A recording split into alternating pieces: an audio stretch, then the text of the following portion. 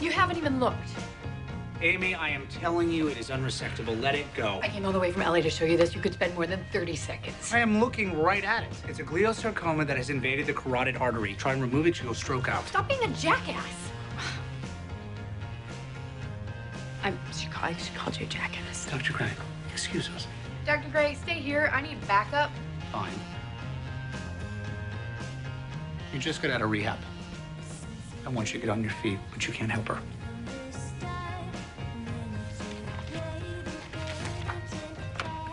Look at his face.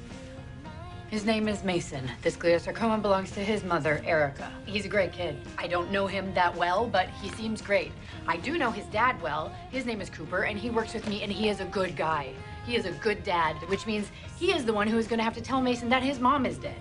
That he doesn't have a mom anymore because we didn't do anything. You tell Cooper you're sorry. You tried. Let it go. Have a surgery.